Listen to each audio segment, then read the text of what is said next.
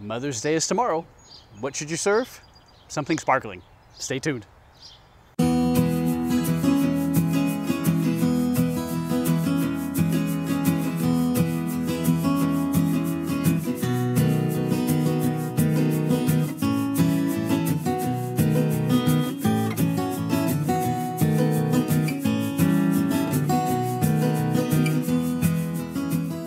Welcome to this week's episode, everyone.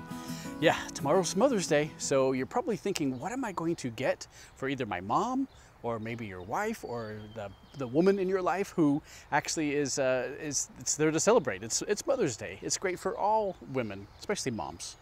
Well, you know, Prosecco is one of the ones I turn to, and I was so excited to tell you about this one because I'd never had this one before like always, you know, when you want to try something new, I I always recommend on our channel to go to a place that you know and you can trust the people and they have good wine buyers and there's someone there to help you. Well, that's that was my uh, my event last weekend.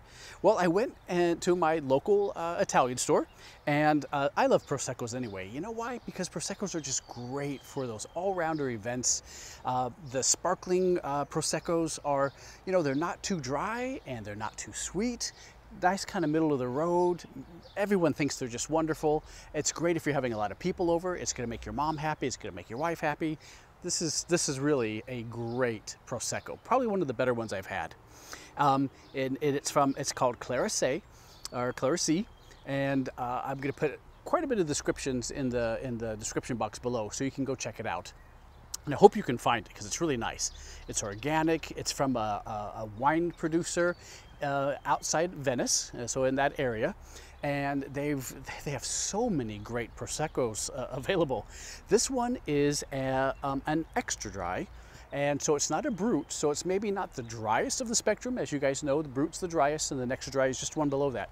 But this is not sweet. It tastes like fresh, ripe fruits. Nice pear. Uh, I get smelled some wild uh, white flowers in there. Uh, some green apple. It's just absolutely fantastic organic. And you know what's kind of nice? It's called feminine. so it's like this, these, uh, they're, they're, it's just known for being this sort of supple, bright, it has nice acidity. I think it's going to go great if you're doing brunch or maybe you're doing lunch or if you just want to like, uh, hey everyone, let's just have a glass uh, and, and say cheers or uh, salut, whatever you want to do. This is, I think, going to be it. Let's take a look at it.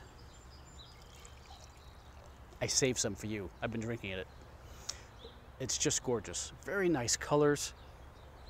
Oh, it's a little bit of uh, a, a, little bit of um, white flowers and some bright pear, green apple.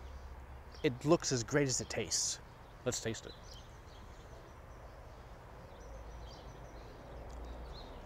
This doesn't disappoint. This will be great at your brunch, your lunch, or just, like I said, to welcome everyone. So look at that. A Prosecco, I think, is a great bet for Mother's Day.